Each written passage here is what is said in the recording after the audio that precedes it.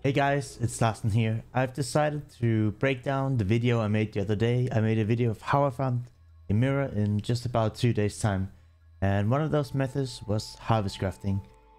And I've decided I want to break down that video into sections and now like just briefly explain just what harvest is, the sad state of it in 3.14 because it's definitely not what it was. But I've still probably profited over 100 exalted orbs just from the harvest mechanic. I don't know anything about crafting. It's purely crafting for profit and um, yeah, I'll just share it with you. Um, I showed you what kind of bases I had in the last video, but this time around I have made a spreadsheet that I will be sharing with you guys. So what cluster jewels I have. I have, um, this is my lightning, this is my minion, this is my cold, and these are my fire ones that I currently have. And for the flyer jewels, always to reforge fire, cold lightning, and the minion one I reforge life with. And what are you looking for? You're looking for two prefixes that are passive skills and one good suffix. And one example of that could be for the lightning jewel or the lightning cluster jewel is uh, Idea with Storm Drinker. And if you get, for example, Doryani's Lesson, it's like 15 exalted orbs. If you get Disorienting Display, it's at least 10. And Widespread Destruction, maybe a little bit less. But that is the gist of it. If you hit the two best ones plus something over here, it's uh, really, really good. And if you hit the, let's say, Scintillating Idea and something not Stormdrinker, it might be a little bit less, but that is the gist of it. If you hit the two prefixes, the way cluster jewels work are... This is the one with increased lightning damage. You have a bunch of lightning modifiers on this side. And on the suffixes, it would be the exact same if I go to a large cluster jewel with increased cold damage or fire damage. It's uh, different for the minion one, but let's just take the elemental one. So here we have increased cold damage. And here you see the Disorienting Display, Awareness Lesson, and Widespread Destruction again in the suffix section of the jewel. But over here we have all the cold modifiers. So as of right now, Blanketed Snow, which is 10% cold penetration, and Blast Freeze are the two big ones. And if you hit one of those with the Doryani's Lessons, it's really big money. Or if you get some of the other ones, it's still really good, right? But you can still hit some of the other cold mods times two plus one of these suffixes and really make some some solid profits Alright, so I have for the minion jewel, I had life. This is my minion jewel. For body armors, I have a 85 Crusader body armor. It doesn't have to be a status cap. I just think they look pretty. I like having a pretty thing in my inventory. It's I'm a I'm a beep, whatever. Yeah, 85 Crusader body armor. If you hit tier 1 Fist Explodey, um, prior to making this video, it's been between 4 to 5 Exalted Orbs and the reason why it's so expensive is people just take that body armor, slam their on it, and put it onto the item that they desire. And the Explodey is really, really hard to hit, so I rerolled Physical and 85 Crusader body armors. And that's really simple. You hit that, it's money. It's uh, really, really easy. One thing I'm trying to do now, because I was looking for something to do with caster mod, and on level 8, eye level 80 rings that are hunter influenced, you can get elemental weakness on hit or you can get despair and hit by reforging with caster. So what you would be looking for here, I'll bring up the Excel I've written. You want to hit, of course, one of either these curses, some life and some resistances, and you'll probably profit. These rings are really cheap. They're 5c or 10c at most. And if you hit a good curse with some life and rest, you'll make at least an exalted, but up to multiple exalted orbs. That's the chaos, or the caster one. Now for chaos, uh, you could maybe do cluster jewels. I've just been doing hunter amulets as well. And what I'm looking for in my hunt amulets is um, plus one to all chaos skills, chaos damage over time, and you hit some lies and some chaos rest. You usually make around an exalted orb or two. And these next cost about um, 5 chaos orbs each to get, so it's pretty pretty cheap. And for defense, I haven't done this until now, but uh, I was thinking, wrapping my head around, what is something popular, right? What is something popular that people will want? And the most uh, popular ES thing there is on shields is recover energy shield when you block. Now, I have it on this shield, but it's not high enough ES. I wouldn't try to sell this. The base costs like 30c because I had 80, item level 85. But I looked it up. You only really need item level 80. At 84, you can unlock some increased spell damage, but it's not a big deal. But um, what you're looking for here, if you hit 300 ES with nothing else, you make a few exalted orbs. If you hit 250 ES with recovery and block, which I had like, you know, 70 more ES in this shield, it would have been at least 3 to 4 exalted orbs. So having this, slamming your defenses on, if you just hit good energy shield, you make a pretty good profit. And, you know, if you hit a good energy shield with recovery and block plus something else, you're, uh, you're having a good day. Then you can, you know, lean back, uh, start up the cigar, and you know, say ha ha ha. Yep. All right. So the reforges I don't really have any good for is uh, attack.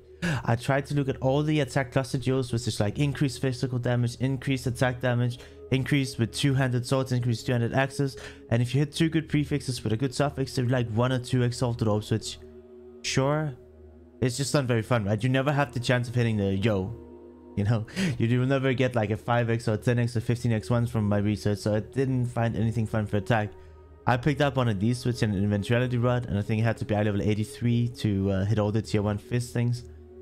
But it's an expensive base, and if you look at weapons and their attack mods, there's a million. I just wanted to try it. Uh, I haven't done much with it, but for now I'm gonna say I don't have anything good for attack.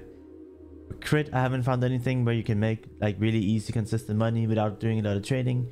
And for speed, I invested into a pair of level 85 two-tone hunter boots. And it's just expensive, right? It's like two or three exalted for the base, and I've done hundreds and hundreds and hundreds of reforges now, and I just haven't hit Tailwind once. So I don't recommend investing into that. If you want, you can try and pick up a cheap pair of uh, hunter boots that are not two-toned and see if you can hit something with the movement speed or tailwind or whatnot, but I just haven't been successful, so I don't include it. And for crit, I don't know neither. So these are all the bases that I use for harvest, but things that are also really good you can make some money from is uh, if you have Uber Elder Fragments, if you have these, you can turn them into these, so the other ones are about 15 chaos, but as you can see over here, the Shaper Ubiota fragments are almost four times the price, right? Uh, if even more, five times, six times the price. So if you have a few of these, you can maybe get lucky and turn them into Shaper ones. Um, you can turn Offering from the Goddess into Gift of the Goddess. I don't have any right now, but Gift of the Goddess, you turn 1C into 55C. Uh, oils, fossils, catalyst. Um, I mean, a good fossil to use is, for example, dense. Dense is not the good one. Let's see if we can find a good one. A frigid fossil is 1C. And you can turn it into some of the ones that are a little bit more. For example, a perfect fossil, you make 60 per. And, you know, it's just a stack of 20 and there's... Find one for 1C and try to make it into something that's a little bit more, right? It's just... It's uh, You run into them and it's nice to have. And the same for Catalyst, which is something that's pretty common too.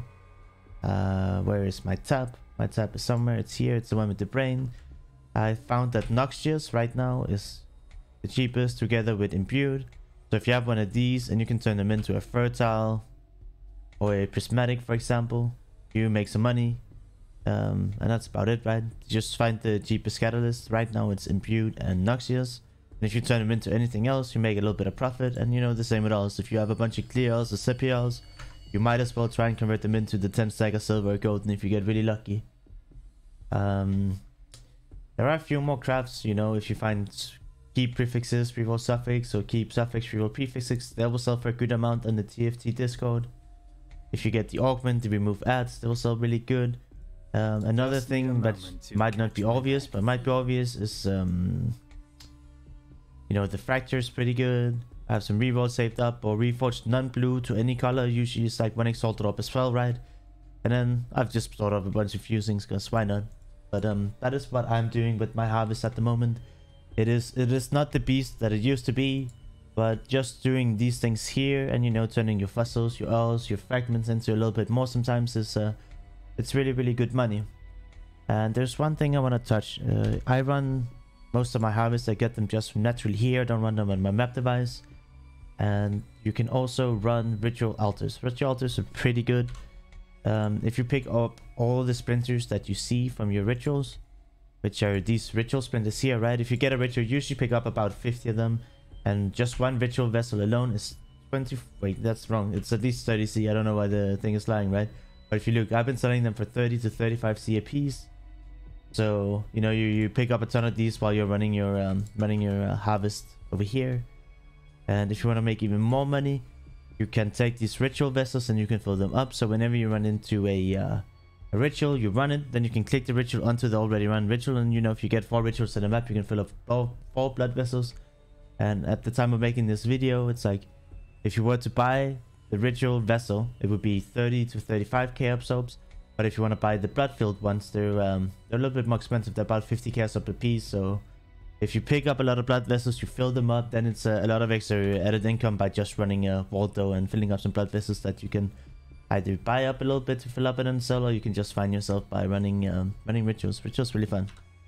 But yeah, that is how I am currently harvest crafting. It is uh, it's really exciting when it hits, but there's a lot of you know, a lot of uh, lot of breaks between the excitement. Sometimes you can be really lucky, or you can be lucky for a bit, but hopefully this video can give you a little bit of purpose on what to do with your harvest if you just are looking to make profits from it. And that is it. That's all I wanted to do. I hope I see you guys in the next video. If you like what you see, please subscribe to the channel. I will do plenty more guides. I'll leave links in the description to the below to the spreadsheet so you can keep this for yourself. I'll leave a link to my Discord so you can come and ask any questions when I'm not around. And if you want to ask questions while I'm around, I stream every day and I'll leave a link to that as well. Guys, I hope you have a fantastic league and bye bye.